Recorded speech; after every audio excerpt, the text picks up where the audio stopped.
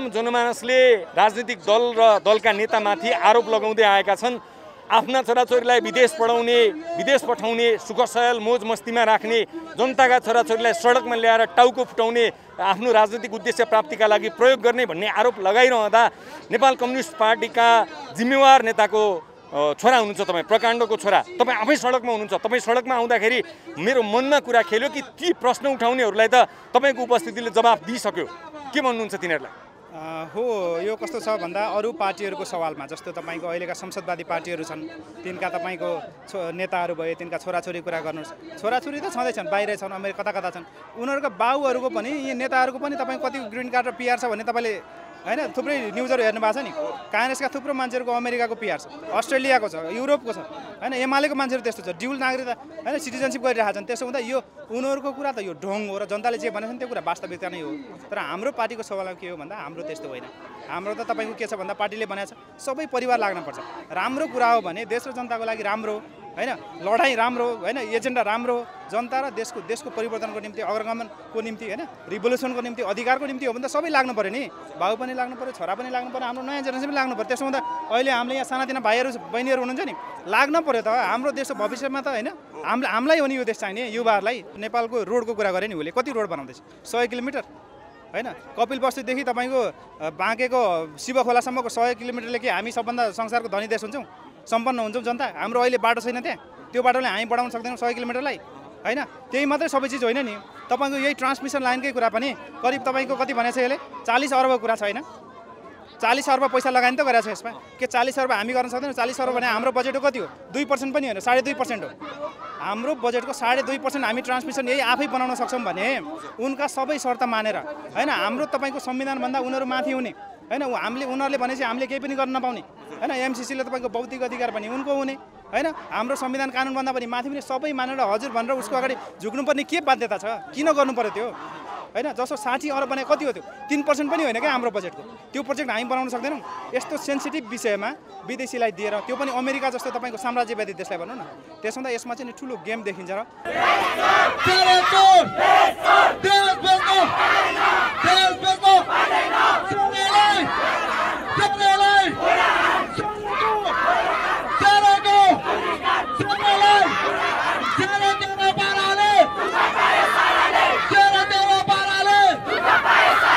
अखिल क्रान्तिकारीका उपाध्यक्ष नरेन्द्र विश्वकर्मा हामीसँग हुनुहुन्छ। हामी उहाँसँग यो आन्दोलनको सन्दर्भमा केन्द्रित रहेर कुराकानी गर्छौँ। एमसिसी पास भइसकेको छ। अब कार्यान्वयनको क्रममा जाँदै गर्दा छ राजनैतिक दल र दुईवटा मोर्चाले यसलाई कार्यान्वयनमा जान नदिने भनेर सडक सङ्घर्षलाई निरन्तरता दिइराखेको अवस्थामा हामी उहाँसँग कुराकानी गर्छौँ। नरेन्द्रजी यहाँलाई स्वागत छ। धन्यवाद धन्यवाद। हजुर अब यो सडक सङ्घर्ष त तपाईँहरूले गरिराख्नु भएको छ। रोकिएला त एमसिसी कार्यान्वयनको क्रम? अवश्य पनि यसलाई रोक्नै पर्छ किनकि यो हाम्रो देशको स्वाधीनता। हाम्रो देशमाथि विदेशीहरूले हस्तक्षेप गर्न खोजिरहेका छन्। अमेरिकी साम्राज्यवादले जसरी हाम्रो देशमाथि नङ्ग्रा गाड्न खोजिरहेको छ जसरी यसलाई आफ्नो क्रीडा स्थल बनाउन खोजिरहेको छ यो बाहिर रूपमा हेर्दाखेरि तपाईँ हामीले हेऱ्यौँ भने पचास साठी अरबको होइन केही पैसाको कुरा आउँछ तर यसको भित्र अन्तर्यमा चाहिँ उसले चाहिँ नि उसको सैन्य रणनीति अन्तर्गत अमेरिकाको इन्डो पेसिफिक जो स्ट्राटेजी छ इन्डो पेसिफिक क्षेत्रमा इन्डियन ओसियन र पेसिफिक ओसियन यो दुईवटा समुद्री तटमा पर्ने देशहरूमा जो उसको सैन्य रणनीति बनाउन खोजिरहेको छ त्यसको एउटा सदस्य बनाउनलाई होइन? नेपालको चाहिँ नि अ, आर्मीलाई अथवा नेपालको सुरक्षा निकायलाई अथवा नेपाल देशलाई उनीहरूको त्यो आइपिएस अन्तर्गत राख्नुको निम्ति यो उनीहरूले एमसिसी यहाँ ल्याएका छन् र त्यसको विरुद्धमा त हामी लड्नै पर्छ। उनीहरूले पास गरेका छन् तर त्यो पास गरे पनि नेपाली जनताले त्यसलाई स्वीकार गरेको छैन। रोकिन्छ कसरी? यो खारेज हुन्छ कसरी भन्नु न? कार्यान्वयनमा कसरी रोकिन्छ त? अब कार्यान्वयन त अगाडि बढिसक्यो जग्गा अधिग्रहण गरिसक्यो मुआवजा दिइसक्यो कार्यालय स्थापना गरिसक्यो कर्मचारी भर्ती गरिसक्यो पैसा खातामा आउन थालिसक्यो रोकिन्छ कसरी? यसो हुन्छ। यो अब दलालहरूले केही दलालहरूले जो ने तपाईँको नेपाली नागरिकताधारी नेपालको तपाईँको टोपी लाउने दौरा सुरुवाल लाउने तर तपाईँको भित्र दिमागमा विदेशीका एजेन्टहरू लेन्डुप दोर्जे हामीले भन्छौँ न। नेपालका लेन्डुप दोर्जेहरूले जसरी बेच्न खोजेका छन् जसरी देशलाई केही पैसामा विदेशीहरूको तपाईँको नियन्त्रणमा हाल्न खोजिरहेका छन् त्यसबाट त्यसबाट छुटाउनको निम्ति त आन्दोलन चलिरहेको छ। उनले संसदबाट केही मान्छेहरूले संसदमा पनि तपाईँको टोटल संसदको बहुमतले त्यो पारित गरेको कुरा छैन। होइन केही मान्छेहरूले हात उठाएको भरमा आवाजको भरमा जसरी तपाईँको देश बेच्ने प्रकारको यो एमसिसी सम्झौता पारित गरेका छन् यसलाई नेपाली जनताले खारेज गरिसकेको छ पहिलो कुरा। होइन नेपाली जनताले खारेज गर्यो तपाईँले हेर्नुभयो छवटा राजनीतिक पार्टीहरू दुईवटा मोर्चाहरू लगायतका देशैभरि सबै तपाईँका देशभक्त मान्छेहरूले होइन नेपाललाई माया गर्ने मान्छेहरूले त यसको विरोध गरेका छन् नि। सबैले विरोध गरेका छन्। त्यसो हुँदा सबै करिब तिन करोड नेपालीहरू होइन यसको विरुद्धमा चाहिँ केही मुठीभर मान्छेहरू केही सय मान्छेहरू होइन केही सय मुठीभित्र अटाउने मान्छेहरूको इन्ट्रेस्टमा यो भइरहेको छ। हामीले के देख्छौँ भन्दा कर्मचारीभित्रका पनि दलालहरू यसमा सहभागी छन्। राजनीतिक पार्टीभित्र भएका दलालहरू यसमा सहभागी छन्। होइन त्यहीँ तपाईँको काङ्ग्रेसभित्रै भन्ने हो भने थुप्रै जनताहरू उसको समर्थक जनताहरू अथवा तपाईँको कार्यकर्ताहरू होइन नेताहरूमा पनि थुप्रै मान्छेहरू यसको विपक्षमा छन् नि। एमालेमा पनि त्यो छ माओवादीमा पनि त्यो छ। होइन जनतामा त त्यो छँदैछ त्यसो हुँदा बहुसङ्ख्यक जनताहरूको जो आवाज छ त्यसले त्यस त्यसको आन्दोलनको बलमा यसलाई चाहिँ खारेज हुन्छ। तपाईँले जो भन्नुभएको छ होइन उसले तपाईँको एकाउन्ट खोल्यो एमसिए एकाउन्टको अफिस खोल्यो त्यहाँ चाहिँ पैसा पनि आइसक्यो कतिपय कामहरू गऱ्यो भने त्यस त्यो के छ भन्दा यसलाई यिनीहरूको कसो देखिन्छ भन्दा तपाईँले हेर्नुभयो भने जो ट्रान्समिसन लाइनको कुरा छ होइन यो के हो भन्दा नेपालमा तपाईँको विद्युत अहिले के हो यहाँ? नेपालबाट निर्यात गर्ने मुख्य कुरा हो कि यहाँ उत्पादन गर्ने मुख्य कुरा हो? तपाईँले आजको मात्रै डेटमा डाटा हेर्नुभयो भने हाम्रो करिब तिन सयदेखि चार सय मेगावाट इन्डियाबाट हामीले विद्युत ल्याइरहेका छौँ होइन?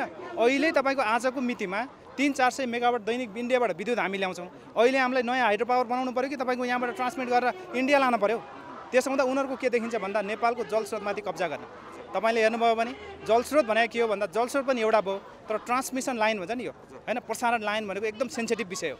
कुनै पनि देशको सैन्य क्षेत्रपछि मिलिटरी क्षेत्रपछि सबभन्दा सेन्सिटिभ विषय भनेको इलेक्ट्रिसिटीको अथवा पावरको ट्रान्समिसन लाइन हो होइन? ग्रिड हो त्यसो हुँदा त्यसमा चाहिँ अमेरिकी साम्राज्यवादले हस्तक्षेप गर्न खोजिरहेको छ। यसका विरुद्धमा सबैले बुझ्नु पऱ्यो सबै जागरुक हुनु पऱ्यो होइन?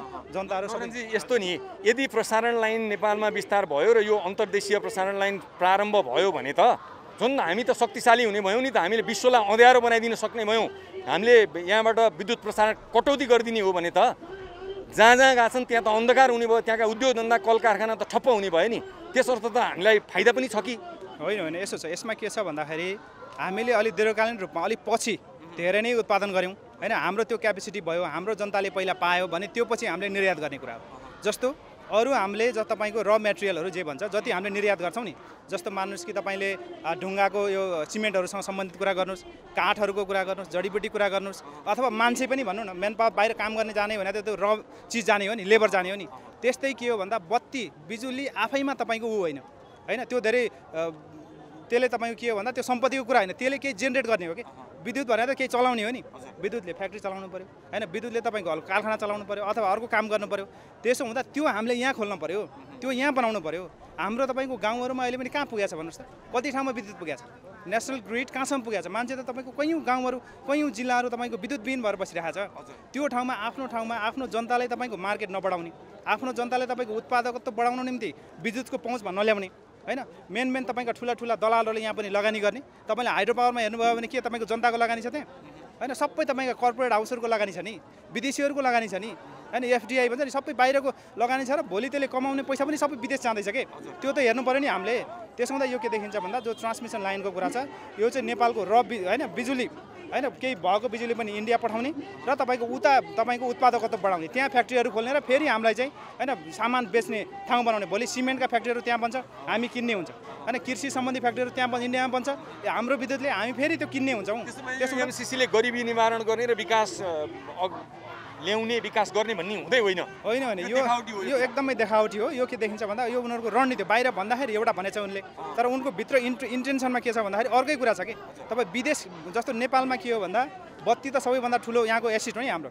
होइन सम्पत्ति हो विद्युत। करिब विश्वको दोस्रो धनी भनेको छु जे होस् हामी। होइन हाइड्रो पावरमा धनी छौँ। त्यसमा उसले के देखिसक्यो भन्दा अब तपाईँको फोसिल फ्युल सकिँदैछ तेल सकिँदैछ पेट्रोल सकिँदैछ। होइन ग्रिन तपाईँको energy green energy clean energy भन्छ नि त्यो पछि युरोपमा अमेरिका कति ठाउँहरूमा तपाईँको यो बाल्न मिल्दैन। होइन ग्यासहरू बाल्न ब्यान्ड गरिसक्यो। त्यसमा त अब कहाँ जाँदैछ भन्दाखेरि संसार इलेक्ट्रिसिटीमा जाँदैछ हाइड्रोजन फ्युलमा जाँदैछ। त्यसमा चाहिँ अमेरिकी साम्राज्यवादले कब्जा गर्न खोजिरहेको छ कि। त्यसको पनि तपाईँको प्रसारणमा होइन त्यो भने नसामा च्याप्न खोज्दैछ। त्यो कुरा हामीले बुझेको खै त जनताले। होइन त्यो उनीहरू रणनीतिसहित आइरहेको छ तपाईँले यहाँ हेर्नुभयो भने अहिले तपाईँको विद्युत नियमन आयोग भन्ने छ। होइन आयोगले तपाईँको रेगुलेसन गरिरहेको छ अब यो बिस्तारै निजी कम्पनीमा जाँदैछ। होइन निजी ट्रान्समिसन पनि निजी कम्पनीले गर्ने यसको नियमन पनि निजी कम्पनीले गर्ने अथवा बहुराष्ट्रिय अमेरिकन कम्पनीहरू विदेशी बिलिनियर होइन अरबपति खरबपतिहरूका मान्छेले कम्पनीले त्यो गर्ने र हाम्रो जनतालाई फेरि पनि टाट पलाउने। देशलाई फेरि पनि टाट पलाउने यो षड्यन्त्र यसको पछाडि छ। त्यसो हुँदा यसलाई हामीले क्लियरली बुझ्नुपर्छ। यो तपाईँको यसलाई यसरी बुझौँ तपाईँहरू विकासको विरोधी होइन विदेशी सहयोग लिनै हुन्न भन्ने पक्षमा होइन। यदि अमेरिका नेपालको सडक विकास गर्न चाहन्थ्यो भने सडक नेपालको सडक विभागलाई पैसा दिन सक्थ्यो नेपालको जलविद्युतमा लगानी गर्न चाहन्थ्यो भने विद्युत प्राधिकरणलाई गर्न सक्थ्यो उसले एमसिसीको माध्यमबाट सिधै आउन खोज्नुले उसको नियतमाथि तपाईँहरू सशङ्कित हुनुहुन्छ। यो ठिक भएन भनिराख्नु भएको छ होइन एकदमै हो अभियसली हो। जस्तो तपाईँले एक दुईवटा म उदाहरण भन्छु। जस्तो नेपालको रोडको कुरा गरेँ नि उसले कति रोड बनाउँदैछ? सय किलोमिटर? होइन? कपिल बस्तीदेखि तपाईँको बाँकेको शिव खोलासम्मको सय किलोमिटरले के हामी सबभन्दा संसारको धनी देश हुन्छौँ? सम्पन्न हुन्छौँ जनता। हाम्रो अहिले बाटो छैन त्यहाँ। त्यो बाटोले हामी बढाउन सक्दैनौँ सय किलोमिटरलाई। होइन? त्यही मात्रै सबै चिज होइन नि। तपाईँको यही ट्रान्समिसन लाइनकै कुरा पनि करिब तपाईँको कति भनेको छ यसले? चालिस अर्बको कुरा छ होइन? चालिस अर्ब पैसा लगानी त गरेको छ यसमा। के चालिस अर्ब हामी गर्न सक्दैनौँ? चालिस अर्ब भने हाम्रो बजेटको कति हो? दुई पर्सेन्ट पनि होइन साढे दुई पर्सेन्ट हो। हाम्रो बजेटको साढे दुई पर्सेन्ट हामी ट्रान्समिसन यही आफै बनाउन सक्छौँ भने उनका सबै शर्त मानेर होइन? हाम्रो तपाईँको संविधानभन्दा उनीहरू माथि हुने होइन? हामीले उनीहरूले भनेपछि हामीले केही पनि गर्न नपाउने। होइन एमसिसीले तपाईँको बौद्धिक अधिकार पनि उनको हुने। होइन हाम्रो संविधान कानुनभन्दा पनि माथि पनि सबै मानेर हजुर भनेर उसको अगाडि झुक्नुपर्ने के बाध्यता छ? किन गर्नु पऱ्यो त्यो? होइन जस्तो साठी अरब भने कति हो त्यो? तिन पर्सेन्ट पनि होइन क्या हाम्रो बजेटको त्यो प्रोजेक्ट हामी बनाउन सक्दैनौँ। यस्तो सेन्सिटिभ विषयमा विदेशीलाई दिएर त्यो पनि अमेरिका जस्तो तपाईँको साम्राज्यवादी देशलाई भनौँ न।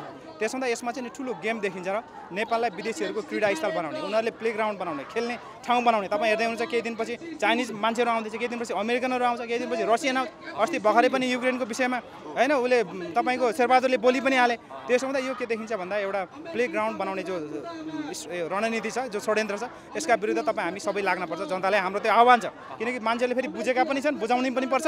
यो के हो भन्दा अमेरिकी साम्राज्यवाद जहाँ जहाँ छिरेको छ संसारभरि। तपाईँले हेर्नुभयो भने अफगानिस्तान पछिल्लो उदाहरण छ। अलि पहिलाको हेर्नुहुन्छ भने भियतनाम तपाईँले हेर्नुहोस् क्युबा हेर्नुहोस्। होइन सबै ठाउँहरूमा अमेरिकाले ध्वस्त पारेको छ त्यसो हुँदा यो यो कुरामा हामी सचेत अन्तमा बताइदिनुहोस् आम जनमानसले राजनीतिक दल र दलका नेतामाथि आरोप लगाउँदै आएका छन्।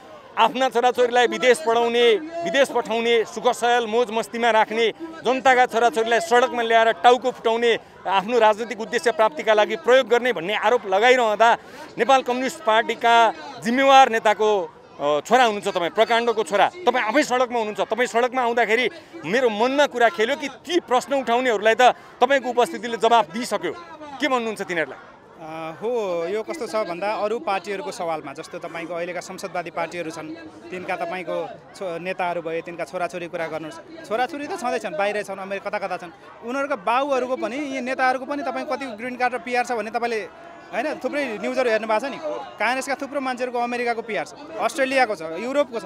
होइन एमालेको मान्छेहरू त्यस्तो छ ड्युल नागरिकता होइन सिटिजनसिप गरिरहेका छन्। त्यसो हुँदा यो उनीहरूको कुरा त यो ढोङ हो र जनताले जे भनेको छन् त्यो कुरा वास्तविकता नै हो।